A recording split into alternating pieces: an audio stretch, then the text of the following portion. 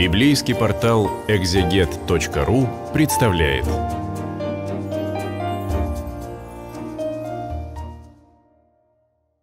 Двадцать вторая глава книги пророка Исаия. Я читаю свой перевод для библейского портала «Экзегет». Одна из самых загадочных глав книги, потому что вообще не очень понятно, о чем это, о ком это. Ну вот, э, только что у нас была 21-я, тоже не сильно понятная, но получше. Э, когда идомитяне кричат стражнику ночному, который час ночи, он отвечает, уже светает, но еще ночь. И мы говорили, что это вот роль Израиля среди языческих народов, он им возвещает будущую зарю, э, но они сидят пока во тьме. И все эти бедствия, которые представлены ассирийским нашествием, в первую очередь, они нужны и важны для того, чтобы эти народы обратились к э, Богу, к тому, кто может их прекратить, эти страдания. И 22 продолжает эту тему, э, но здесь очень много загадок, непонятно о ком и о чем. Начиная с самого первого стиха. «Возвещено о долине видения». Что за долина видения? Эм, где ее поместить? В доме, первая мысль, потому что все время и дом. И дом это вот такая э, страна, которая соседняя с Израилем, он только что у нас был, и э, да, наверное, это где-то там, долина видения. Об Израиле, о Иудее, потому что видение от Бога приходит именно израильским пророкам. Хм, тоже можно. А можно понять, что долина видения – это некая абстрактная страна, вот, э, которая явилась ему в видении, собирательный образ. Вот некая такая, э, не то что выдуманная страна, там, Шамбрани или как еще ее назвать, а э, то, что подходит более-менее к любой. Вот страна вообще, которая падает жертвой ассирийцев. Наверное, и так можно понять. Но даже дело не в том, э, где и кто. Дело скорее в том, что происходит. Возвещено о долине видения. Что с вами? От чего вы поднялись на крышу? Вечно празднующий город, полон криков и смятений. Да, вот этот большой город никогда не спит, а и, и все как-то сразу резко изменилось. Пандемия коронавируса у них началась, наверное. Но это я, конечно, осовремениваю, но постоянно возникают такие истории – полон ты криков и смятения. Кто пал, был сражен не мечом, кто умер, погиб не в битве. А где? Действительно эпидемия или что-то еще? Непонятно, но бедствие, бедствие, какое-то бедствие. То есть долина видения – это образ э, города, страны максимально обобщенно. Вот когда э, вечный праздник, все хорошо, все замечательно, и вдруг что-то идет не так, прям совсем не так. Предводители твои разом бежали. Ну, обычная история, когда начинаются проблемы, то начальство первым делом убегает. Лучники их повязали. Другой перевод, э, побросав луки в плен, попали, неясно. Лучники их повязали, мне кажется, очень хорошо. То есть, такие простые э, воины повязали своих собственных предводителей. Все, все меняется резко. Да? Вот сейчас бедствие, рушатся привычные структуры общественного порядка. Кого нашли у тебя, повязали всех вместе, хоть и далеко они бежали. Да, вот э, начальники, командиры убегают, а те их хватают, вяжут, чувствуют предательство, а сделать им все равно ничего не могут, кроме как арестовать. А потому скажу, не смотрите, как горько я рыдаю о бедах любимого моего народа, и не пытайтесь меня утешить. Наслал Господь воинств на долину видения, день ужаса, попрания, смятения. Рушится стена, до гор крик доходит. Но вот все очень плохо, и утешения никакого нету. Илам достает колчан, колесницы и конницу выводит. Илам – это одна из областей к востоку от Междуречья, такой дальний достаточно народ. Кир, еще один народ, это не персидский царь Кир, а э, еще одна такая точка на карте, щиты расчехляет.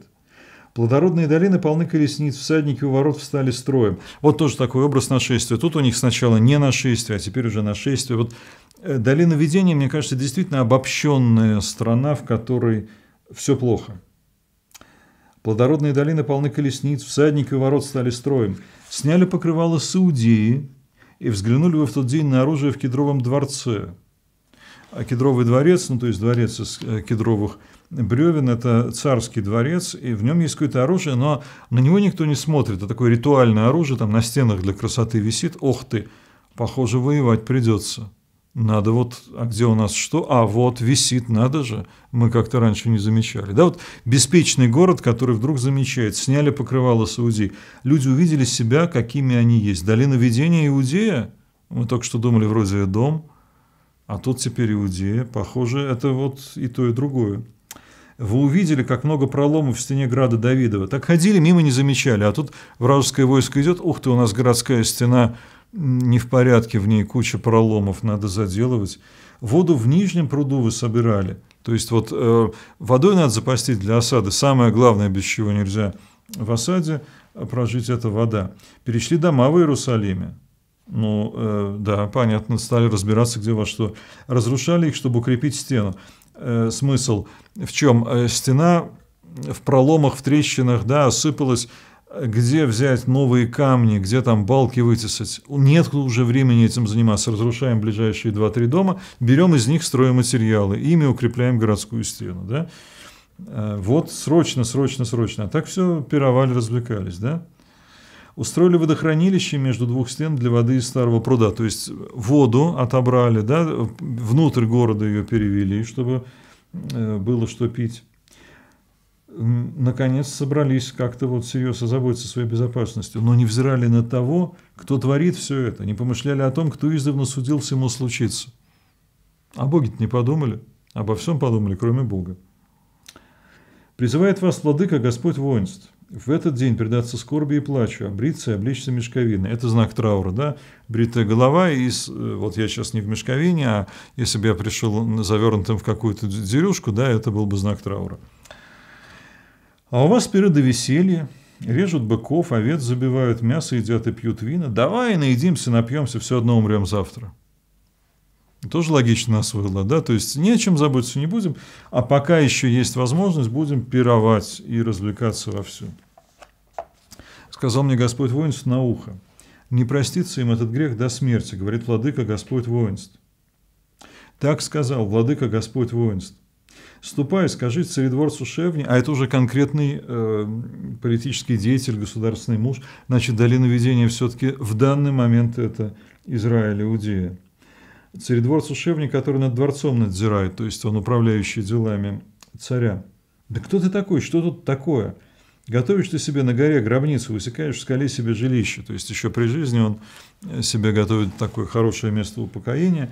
Силач, Тебя Господь ухватит и зашвырнет подальше, в комок он себя скатает, ну, как комара какого-то, да, пойманного, и забросит в обширную землю, где ты умрешь.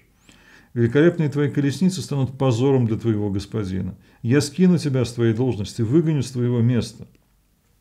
Вот ты себя приготовил в гробницу, а умрешь в совершенно другом месте, в совершенно другом положении. В тот день я призову моего слугу Ильякима, сына Хилькии, Надену на него твои одежды, поясом твоим его опояшу, и власть твою передам в его руки. И станет он отцом для жителей Иерусалима и для всей Иудеи. Вот уже внутриполитическая борьба. Да? Один царедворец падет, другой возвысится, но а смысл не в том, что Исаия один нравится, а другой нет, а в том, что это э, от Бога, в том, что это вот отражение Его воли, это имеет отношение к тому, как себя ведут израильтяне и жители Иерусалима. Передам ему ключ Давидова дома. Что он отворит, никто не закроет, что он закроет, никто не отворит. Э, звучит как э, хозяйственное распоряжение, да, он получит э, ключ дворцовый, главный такой, да, мастер ки, и сможет открывать и закрывать там сокровищницы всякие, двери разных помещений.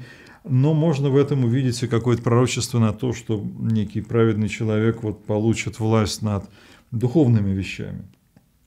Вобью его прочно, как гвоздь и станет он престолом славы для своего отеческого рода, то есть его потомки будут им гордиться. Да, от него зависит будет вся слава отеческого рода, отпрысков и потомков. Повиснут на нем все сосуды от большого кубка до малой чашки. Вот он будет тем, на кого они будут ссылаться. В тот день пророчество Господа воинств зашатается гвоздь, битый крепко, выскочит, упадет, тогда все, что на нем висело, разобьется. Так сказал Господь. А кто-то другой рухнет. Ну, э, ничего особенного. Один политический деятель возвысится, другой падет. Сколько мы такого наблюдаем, всегда и везде это было. Но смысл в том, что э, это от Бога. Смысл в том, что вот те, кто предаются пирам, весельям, беззаботности, они ему не угодны. Они не берут на себя ответственность за свой народ. Они не собираются его защищать, а когда приходит грозная опасность, начинают разрушать дома, как всегда, простых людей, да, обездоливают, чтобы защитить государство. Вот это все никуда не годится. И если они так себя ведут, то их место займет кто-то совсем другой. Но вот неожиданно долина введения сюда ввязалась. Мы говорили, что это за долина, и пришли к выводу к концу, что, похоже, это Иерусалим и Иудея. Но все-таки это такой образ любой страны, мне кажется. Да, вот Иерусалим и Иудея как э, некая принципиально главная страна, в которой происходят вещи, так или иначе касающиеся всех остальных. А дальше 23 глава, она про финикийцев. Про финикийцев там долго и подробно будет.